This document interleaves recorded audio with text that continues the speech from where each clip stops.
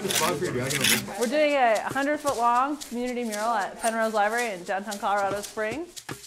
People rise to the challenge. And I've been looking at this wall at Penrose Library for a number of years.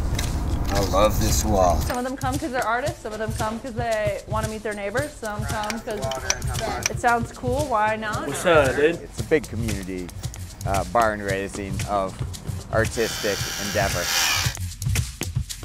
I did some leaves, I did some uh, fossils, I did a little bit of everything.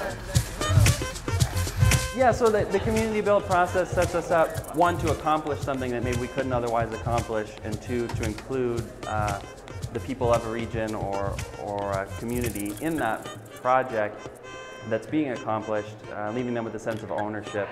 You know, community built is something as old as the earth, really, as old as human beings are. It's really at its function, its core, it's about bringing people together in common to you know, really be able to build or create something that represents the whole community and, and brings those people together.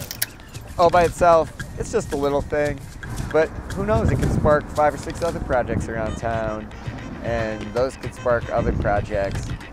People who just walk up will be like, wow, cool, look at that, look at that. That wasn't there last time. Isn't that neat? Oh, let's go look at it. So that's the goal, and, and that's kind of the sign of a good work of art, that it draws people in uh, and they want to look at it for a second time, or a third time, or a fourth time.